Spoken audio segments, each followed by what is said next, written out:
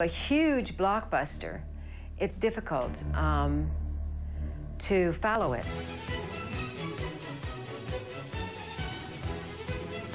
is a screen legend who's been pursuing her childhood passion for acting since coming to Hollywood more than 40 years ago. I imagine a lot of young people are thinking, gee, you know, she's a pretty girl and all of that, but heck, I can act. I'd like to do that. You think they ought to come to California and start to act? Well, no, not exactly. I think that if you really want this kind of a, of a life, uh, you should try for it. But I do think that it's very important that you have a background in it because even though it depends a lot on luck, when the opportunity does arise, you have to be able, you have to be prepared for it. You see. Do, do you believe luck plays a big part in success? Oh, I think it does a great, uh, in a, in a great many instances. Say when an instance comes about in sort of a lucky way that, that, that is sort of a fluke thing that you really never planned on. It was somebody that you knew or, or something you didn't even really think would happen that way at all. But if you have the background and the training and the ability, then you could take advantage of it. If you don't, then it just goes by and forget about it. You've lost it. I mean, you're Yeah. with every one of my favorite leading men here. Elvis Presley. Now, you were in his first movie?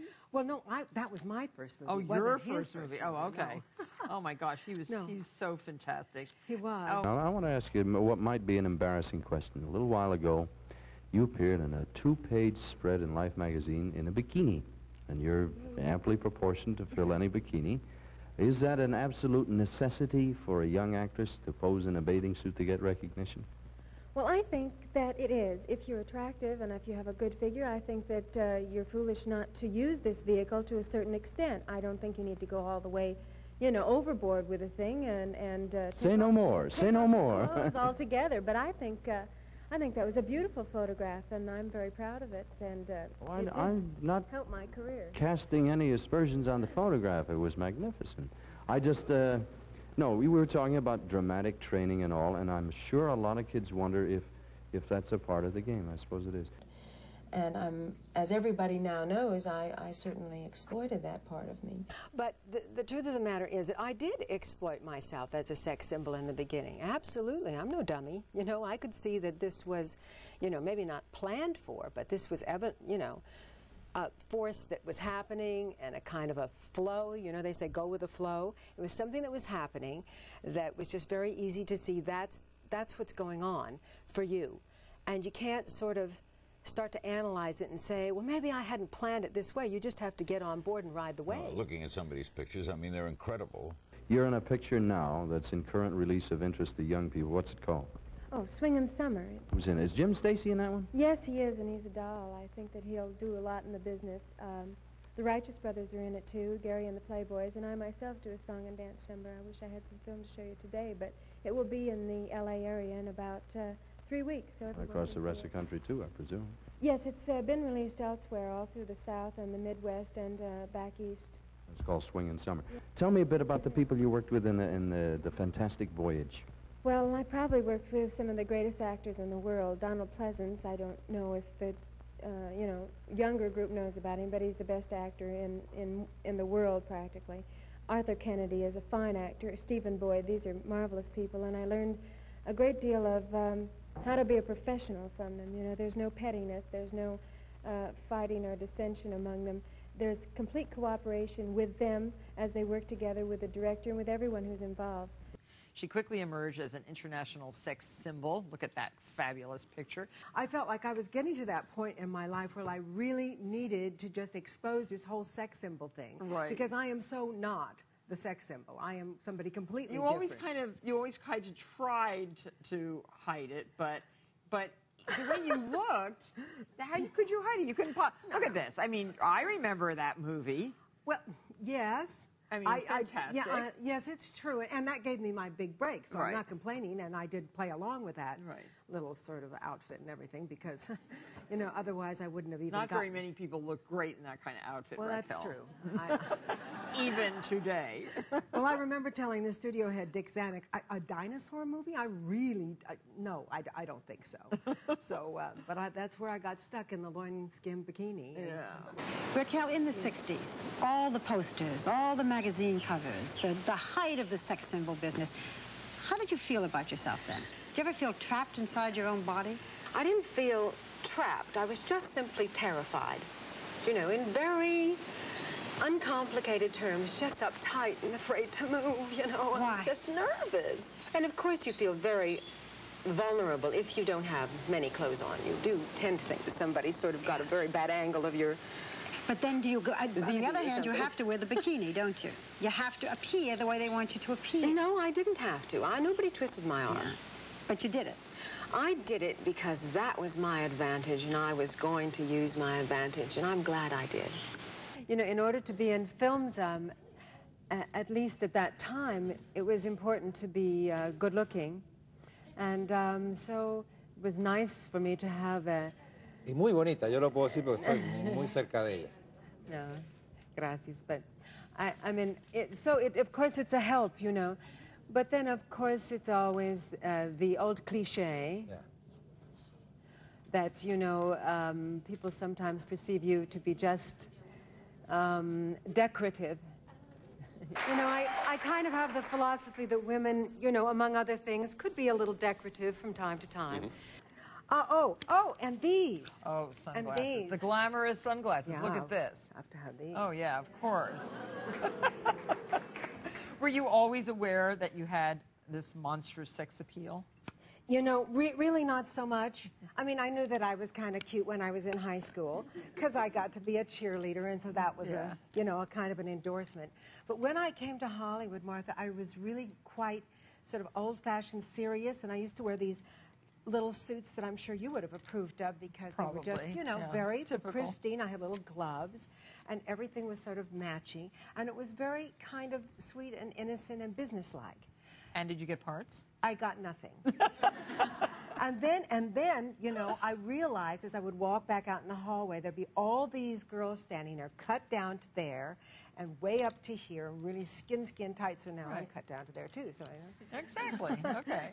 And then the parts started to just fly in. well, actually, people did take notice. Yes, they did. And I, I guess it was one of those things that I was expecting that you had to be a serious actress, and here I was in Hollywood, and I just did not get that it wasn't the same as going like off Broadway, where your chops are really the most important thing. In Hollywood, you really have to look a certain way in order for them to give you even half a chance. So. about Halle and Beyonce and mm-hmm. J Lo, and you were saying those women have something more than just their bodies and their faces. Yeah, exactly. There's a spirit and a Yeah. Well, there, joy. There, there's, there's a joy, and there's a, a femininity and a kind of warmth and some kind of, of, of heat that comes from them in a nice way. Yeah, You yeah. know, I like to think that I'm not just, wasn't celebrated just because I looked a certain way, because the world is full of good-looking girls. Yeah. But it's because of something else Yeah, here you- in the heart and soul mind that comes together and makes it, you know, makes you you. absolutely. Have you a film uh, opening in the metropolitan area this week? No, Ducks. Seven down and three to go, Miss Newman. Have you ever appeared in a movie version of a Tennessee Williams play? No, love. No, darling. Oh, I'm sorry. I'm sorry, Duck. That's eight down and two to go. That makes it five down and five to go, Miss Francis. Have you appeared in the New York theater? No. You have then made pictures in Europe. Yes. Mr. Grizzard. Uh, This is the last question, is it, John? yeah, if you get a no, it is the last question. Oh, oh, I'm sorry. but you can get a yes, it'll go on. Oh, ah, are you, uh, are you under eight feet tall?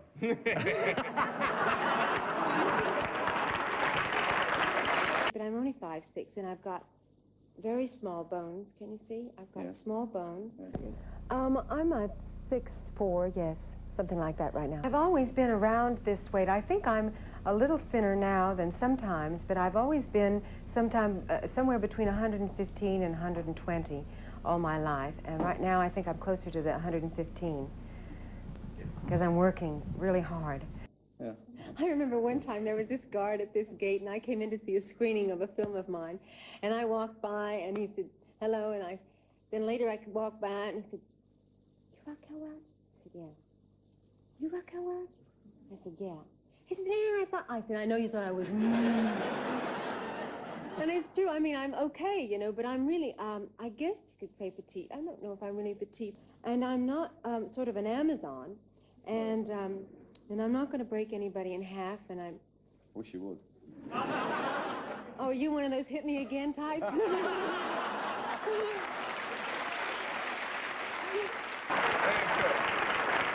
good, George. Yes. Miss Newman. Um, um, hmm. Are you better known for comedy than for serious parts? Not exactly. No, I would say we'd give it a yes and a no. It could be either Could be, one, of really. both Oh. kinds. Mr. Okay. Randall? Have you ever played on the Broadway stage? No. That makes it ten down and no more to go, and you may remove your masks and greet Raquel Welch.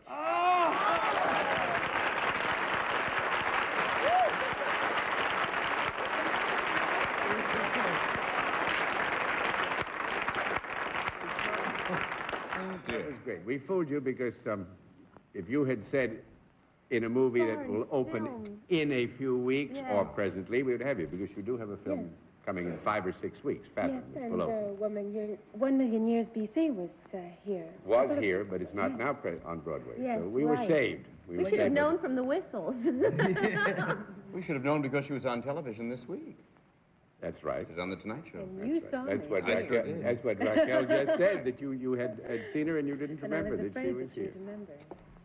They always put that symbol on somebody who becomes successful in pictures, the new sex goddess or sex symbol. Does it, does it rankle you a little bit?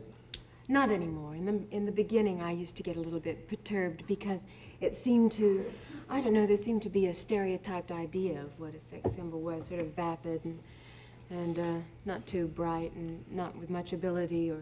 Doesn't hold true, really. Well, I don't know if it does or not, but it's kind of, it makes you uh, feel that you're limited in some way, and so you kind of fight against it. But I don't think that you can really fight against an image. It's something that you can't control, don't you think? I've tried to control mine, you know. Your pictures don't do you justice. You're a beauty. You, just wait. Thank you very much. nice of you to give us a, a chance to meet you on Sunday night.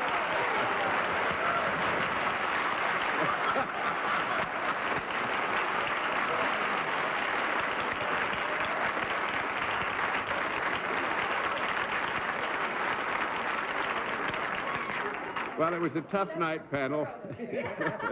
and I guess we can't congratulate you, but we give you A for effort.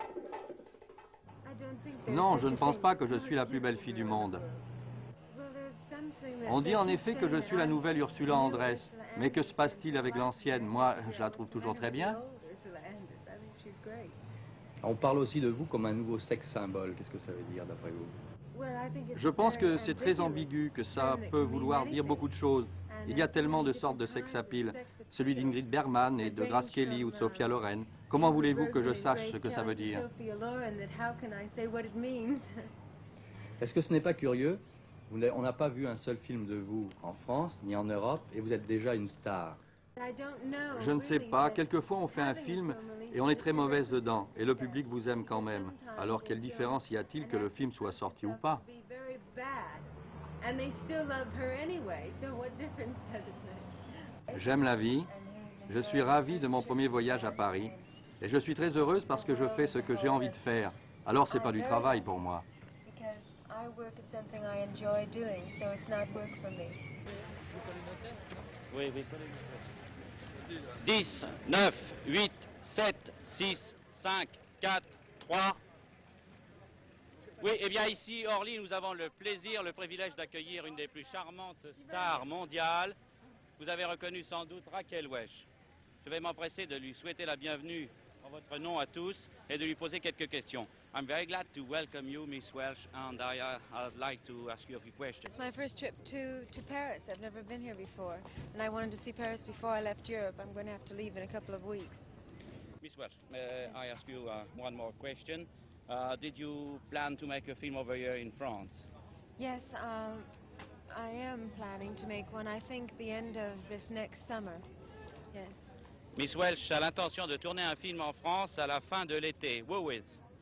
Well, it's a, uh, a Deutschmeister? Yes, for But- Henry Deutschmeister. Pour And, uh, Henri um, Deutschmeister. Uh, what will be the title of this film? I'm not sure at this moment. Right. It's the title now is Night of Diamonds. But I don't. Night of Diamonds. La nuit de diamant. Euh, ce film sera donc tourné en- à la fin de l'été. Est-ce que je peux vous poser enfin une dernière question? Combien va durer votre séjour présent en France? How long will, stay, uh, will you stay over here in France? As long as I can. I think maybe it won't be more than a week or two. Yeah. Eh bien, elle espère rester au moins 15 jours, le plus longtemps possible, dit-elle. I En tout must cas, to the United States to make a film or I'll stay longer. En tout cas, elle doit bientôt retourner aux États-Unis pour faire un prochain film. Pour l'instant, je vous souhaite un excellent séjour ici en France, Raquel Welch. Merci infiniment. Enjoy your stay. Thank you very much. Goodbye. So I feel, I feel like Raquel Welch, but I don't feel famous. I feel that people, a lot of people know me where, wherever I go. Maybe I don't feel, uh, maybe I feel that fame is kind of being above it. And I don't feel above it, I feel in it. Makes you approachable enough that people feel the heat. And and when you're um, in a film, I mean, you're never there when the audience looks at you, Es más frío. and you and you never know. yes, yes, and, and and you never really know uh, how people regard you at the moment. You know, you have to go and, and hide in the back of the cinema and watch to see if anybody laughs at the right time, and or you know if they are laughing and giggling because you're so bad up there. Sin, scandal, sex. Your whole career, you and sex have been synonymous. Well, yeah, sex has sort of chased me around for most of my career. Take the plunge and take your choice of Capucine, Claudia Cardinale, Monica Vitti, Raquel Welch.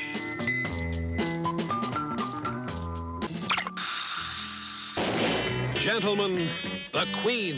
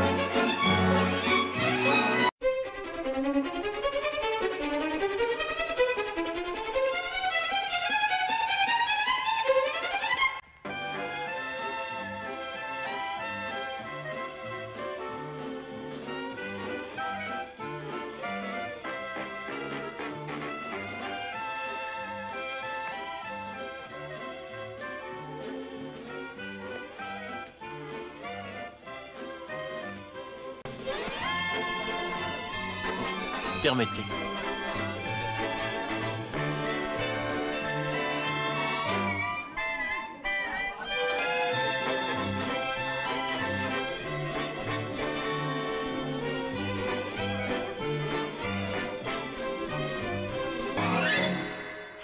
Pensons à l'empereur.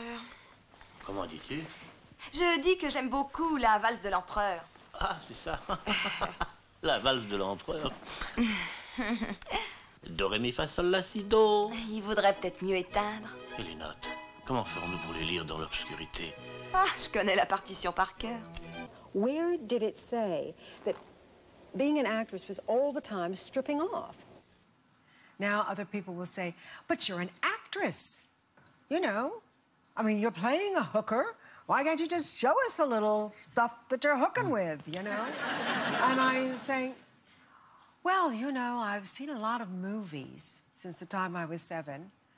And uh, I don't recall any of these women who are supposed to be loose showing any kind of nudity in the golden age of film. Actress Raquel Welch remembers the hubbub in England at the time. They were just the, the, the biggest, biggest stars on television. To the big screen.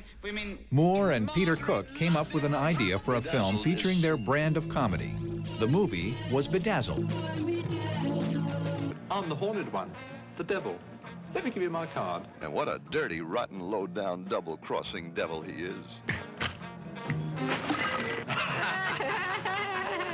Hey, that's terrible. You're a complete failure.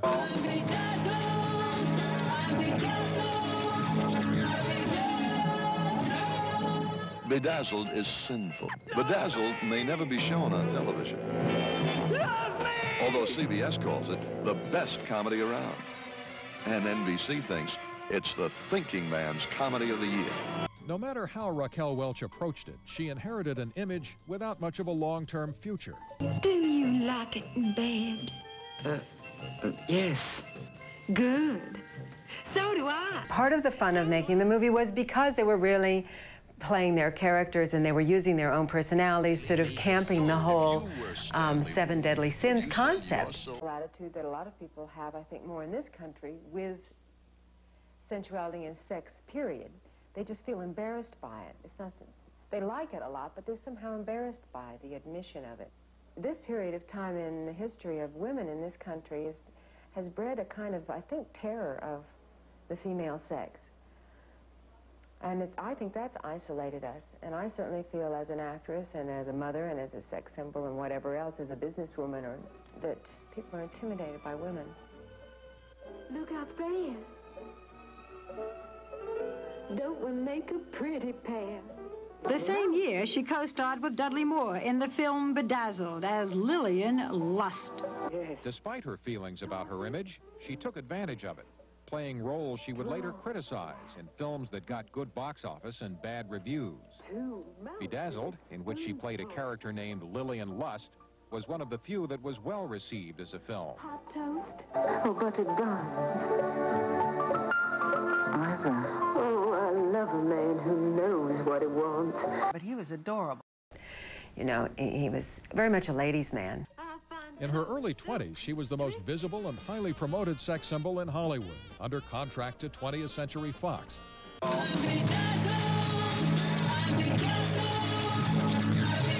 You'd sell your soul for a movie as funny as this. It's kind of irreverent for its time. There's discussions of religion that are actually very British. Americans probably don't get jokes about the Church of England, you know, inside jokes. But jokes about religion are kind of universal. Come on, sweetie, let's dance. No, thank you. They're tweaking it, and religion so much really deserves tweaking. You know, it's uh, the movie's satirically good on that level, and then there's just some outrageous good acting and funny behavior. Mean, you get the woman of your dreams, and in an hour you're looking over her shoulder at someone who might be more interesting or attractive. Oddly enough, I ran into Raquel Welch during the making of the film, the remake of Bedazzled. I was in a restaurant, and the casting director I knew said, "Oh, Raquel Welch is there. She'd love to meet you." And I went to meet her, and we sat down. She, she said, "I love your work. I just love your work." And I, I said, "Wow, that's great. Thank you." She said, "Yes, I thought Darkman was a wonderful movie." and I, I thought, "Oh, I, I think you're thinking I'm Sam Raimi, but I'm Harold Ramis."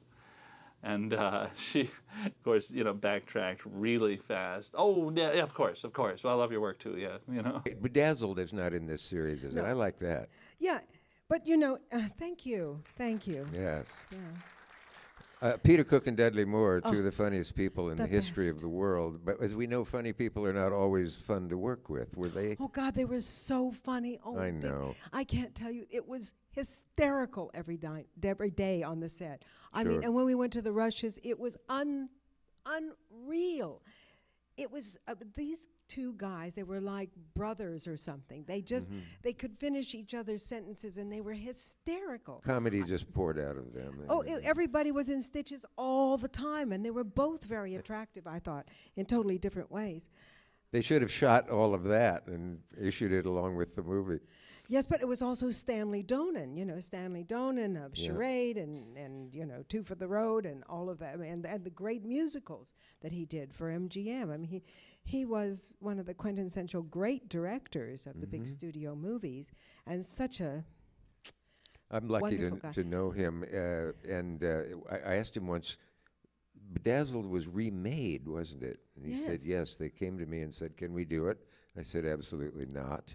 Get out. Really? And then they told me what they were paying, and I said, fine. He's a hell of a guy, isn't he? Yeah, I have to say, I thought Elizabeth Hurley did a fantastic job in the remake of, of Bedazzled. I really did. I thought she did a phenomenal job. And of course, it was a, it was in many ways a much better part because there was more to do. And Yeah. she was, it was a major role, whereas mine was like a cameo. Mm-hmm. And that stupid accent I did, God. Well, you like everything I do. So you you know, that's not good. You have to be more Have to- discerning. more critical. You have to- but thank you for loving me. I love you too. But oh my God. Good morning, Mr. Moon. Hot buttered buns. Oh God. Really? And Marcello Mastroianni. Yes. Oh, so.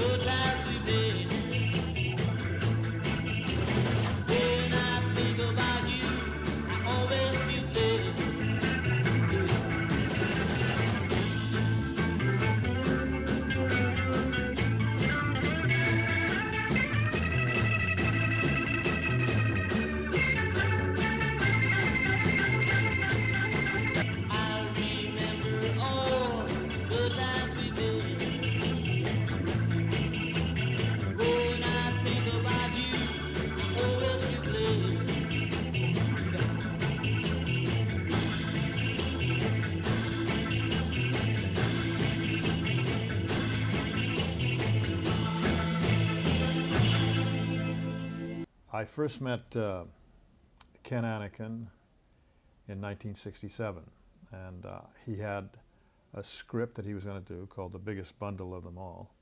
And um, I loved the script. It was a great role, and he cast it so terrifically with all of these marvelous, wonderful people. He had um, uh, Davy Kaye and Francesco Mulé uh, were the character actors, and Godfrey Cambridge and Edward G. Robinson and Vittorio De Sica, and it was uh, Raquel Welch's, I believe, second movie.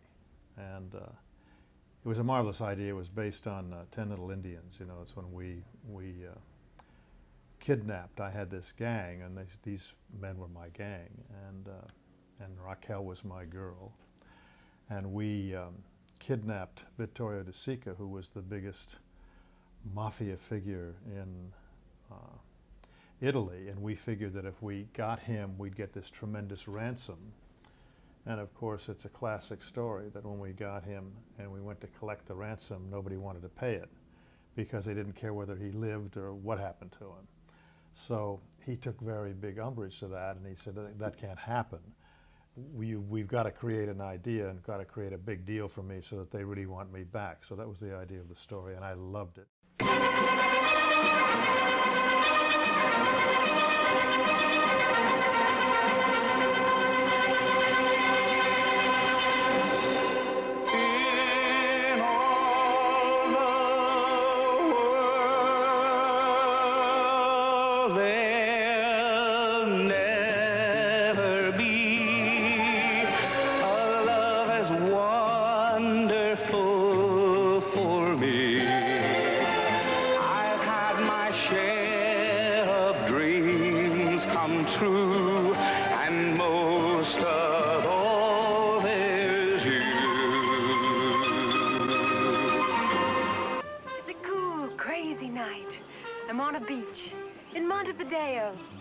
Just you and me and a million funny looking stars shining down. Man, I've really got to get you to that place.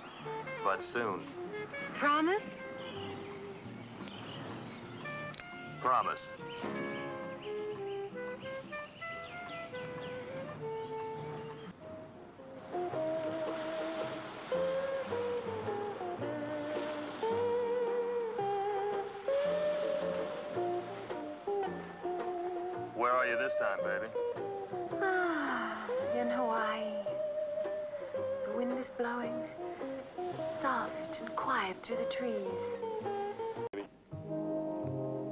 I'm not going, Harry. What? I said I'm not going. It's not right what you're doing, Harry. Mr. Kelly's a nice man. I can't do that to him. Are you crazy?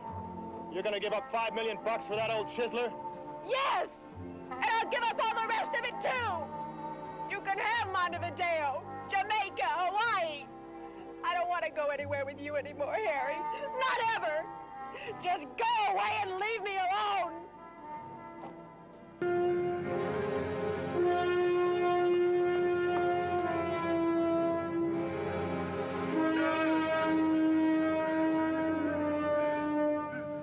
You know, Vittorio De Sica, the great, um, I don't know, you know who he is. He's uh, wa- fabulous and That very- Vittorio De Sica. Very esteemed, yes.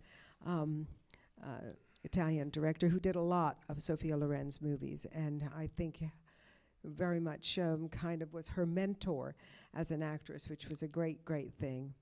And uh, uh, one one time I had the pleasure of working with him. Unfortunately, not as a director. This is my luck, you know, but as an actor. And he came to me one day and he said, "My darling, why are you trying to change uh, your voice?" Because I was trying to push my voice down and be more like, into the body. And I said, Well, some people said that I talk too high, too high a pitch. It comes out my n- little nasal and all this, and I should. And he said, ah, up, da, da, da, da. You must always remember the defect is very important. Do not try to be perfect. Aha. And that was a fabulous thing that he said to me because from that point on, I knew Yeah. okay, everything that I think is not right about me, you know, that I'm kind of not middle of the road enough, and I'm kind of, you know, I'm kind of pretty, but I'm kind of uh, unusual looking, you know. Yes. Uh, I am. And um, uh, uh, just everything that I, I just have to not think about any of that and just Mhm. let that be. You don't Because- have to be perfect. No, I do not have to be perfect. Nobody has to be perfect. God, I wish someone had told me that years ago. I know, but isn't it wonderful? it is. It's a wonderful thing to say and to hear. Certainly for an artiste to hear. Who Yeah, and especially from Vittorio because he was so, so. They used to call him Il Commendatore. And he was so great. And he used to come and sit down in his chair, and, and he always had like a fedora on. He was always very extremely elegant. And he'd sit down and then immediately fall asleep. and the hat brim would be down there, and then they'd come and they'd say, uh, Commendatore. And he would go. Si. That's good. You know, like, I wonder if you know. Loved I would it. have thought De Sica was sitting there. That's perfect. No. Uh, When I started out in my career, I was very self conscious of the movie cameras, of the microphones, which seemed to capture my every flaw, even ones I didn't even know I had. Luckily, I got some great advice from a famous Italian movie director, Vittorio De Sica. He observed me one day on the set and saw how uncomfortable I seemed. After the scene, he took me aside and said, Please, my darling, do not try to be perfect, huh? Because the defect is very important. And I never forgot it. Your authentic self, with all its flaws, real or imagined, is the most important, most beautiful thing you have to offer.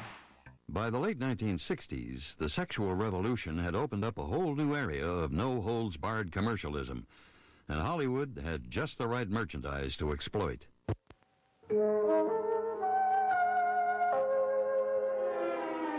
This is the shape of a girl called Fathom. You like the layout? Feast your eyes on Fathom. Raquel, 39, 22, 33, Welch. When she slips on her bikini, clips on her grenade earrings, and sets out in search of adventure, things really happen.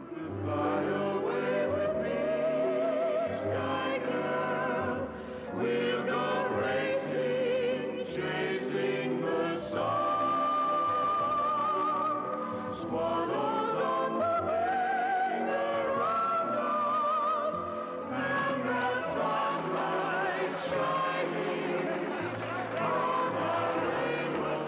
Senorita, a smile would make it perfect. Fathom, a gentle girl, a quiet girl. She's killed my missus. She's killed my missus. What did you do with the fire dragon? Did you give it to Campbell? I don't know what you're talking Your about. Your boyfriend's in the hospital. There's no one here to help you. Oh! All right, love, you're safe now. Timothy! I think someone's cast you as a pigeon, carrier type.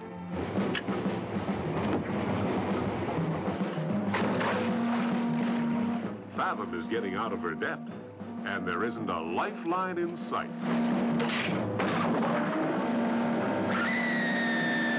He's a gentleman with a very private eye.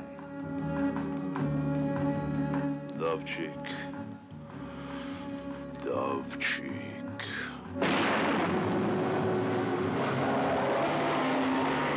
But don't bother to fathom it out.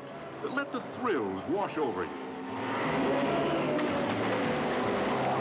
Just remember, Fathom is a girl who can shake a man up or down.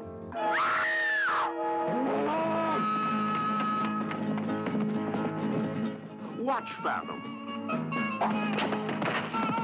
She's a diving doll who gets to the bottom of things fast.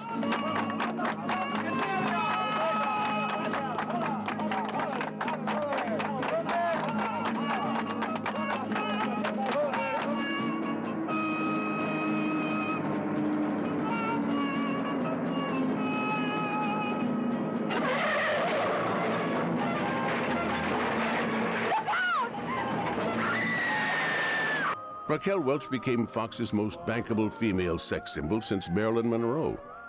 Over the next two years, Raquel divided her time between Europe and the U.S., appearing in several films, including Fathom, Bedazzled, Lady in Cement, Tell us also about Frank Sinatra. You, you starred with him in the film Lady in Cement. So what was that like? Well, I was so excited to be working with Frank because, I mean, when I was a little kid, I just listened to all of his records and everything.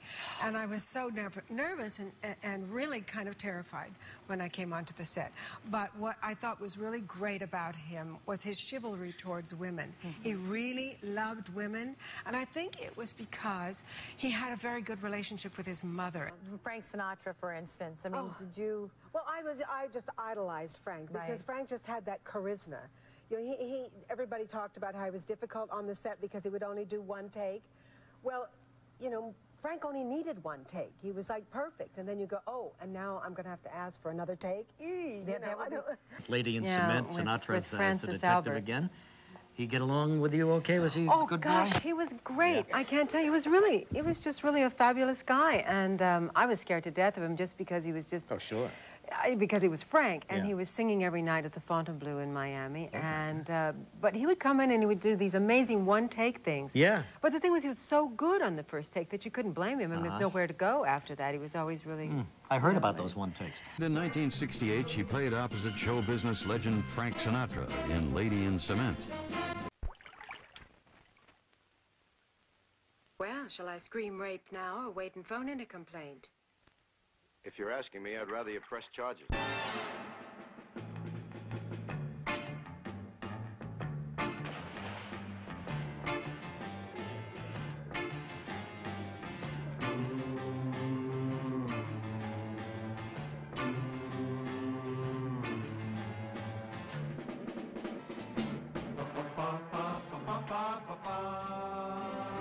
Co-starring Raquel Welch.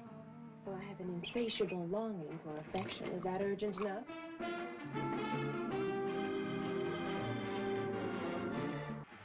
There's There's a very good-looking broad who's got a crazy breaststroke.